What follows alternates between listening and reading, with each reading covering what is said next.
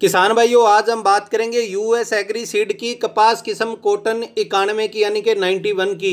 इसकी संपूर्ण जानकारी मैं दूँगा कि इसकी क्या क्या खूबियाँ हैं।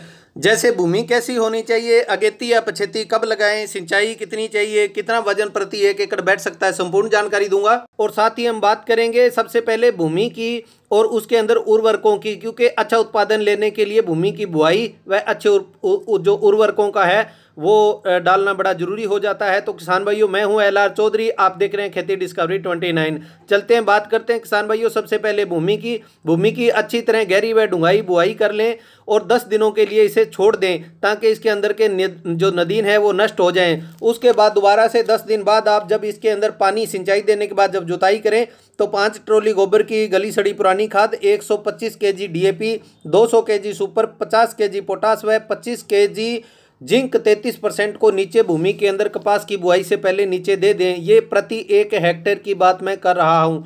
उसके बाद जो है कपास की बुआई करें। अब बात करते हैं यूएस एग्री सीड की कॉटन कपास किस्म इक्यानवे की, यानी कि 91 यूएस एग्री सीड की।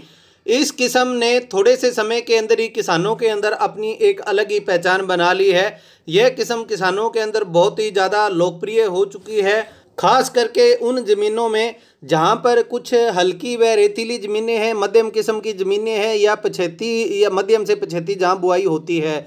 इस किस्म की अलग अलग अपनी खूबियाँ हैं। ये किस्म अगेती भी कामयाब है, मध्यम भी कामयाब है और पछेती भी कामयाब है। ये किस्म भारी से लेके मध्यम व हल्की ज़मीनों में भी कामयाब है, यानी कि बहुत ही ऑलराउंडर किस्म है। इसे अपने पूरे समय के दौरान छः सिंचाई की ज़रूरत पड़ती है। छः से सात फीट इसकी जो हाइट है, कद है अच्छा है इसका जो टिंडा होता है, इसका बोल होता है, वो बड़े साइज़ का होता है। चौदह से पंद्रह क्विंटल प्रति एक एकड़ इसका वज़न बैठ जाता है। अगर सही तरीके से हम इसकी पूरी साम संभाल करें। जिस तरह की हम वीडियो में जानकारी आपको दे रहे हैं। यह मध्यम समय के दौरान ही फल और फूल लेना स्टार्ट कर देती है, जिसकी वजह से झुलस व ब्लास्ट का शिकार नहीं होती। अगर एरिया वाइज ही झुलस में ब्लास्ट आ जाए, ज़्यादा बारिशों के कारण अगर ह्यूमिडिटी बढ़ जाए तो भी एक किस्म किसान को धोखा नहीं देती। अगर ऐसी सिचुएशन हो ब्लास्ट व झुलस की तो इसके ऊपर आप हमारे चैनल के ऊपर लास्ट ईयर की डाली हुई वीडियो देख सकते हैं। इस साल भी हम डालेंगे। आप अच्छे कुछ खादों के मिश्रण नीचे देकर झुलस व ब्लास्ट से बच सकते हैं। किसान भाइयों, अगर यूएस इकानमी की बात करें तो इसके पत्ते काफ़ी सॉफ्ट व मुलायम होते हैं, जिसकी वजह से इसकी बढ़वार अच्छी होती है। अगर इसके अंदर कंपनी की कंपनी की कंडीशनों के हिसाब से इसमें सेकिंग पेस्ट तेले चेपे का अटैक काफ़ी कम होता है और जो है लीफ करल वायरस है, वो भी नामात्र आता है। लेकिन फिर भी जहाँ पर कुछ जो किन्नू बेल्ट है, जिसको सिट्रस बोलते हैं। उस एरिया के अंदर जो है सेकिंग पेस्ट व लीफ कर्ल की शिकायत आ ही जाती है। तो उस, उन उन भूमियों के अंदर जो है, किसान इस चीज़ का खास करके ध्यान रखें। सेकिंग पेस्ट व लीफ कर्ल वायरस के प्रति सचेत रहें और टाइम टू टाइम दवाइयों का छिड़काव करते रहें।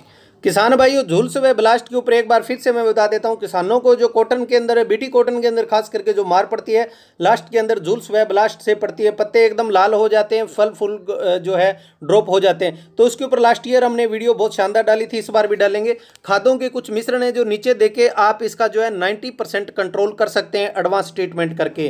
और करीब करीब किसान भाइयों, हम बीटी कॉटन की बीस किस्मों के ऊपर जो है संपूर्ण जानकारी ऑलरेडी दे चुके हैं।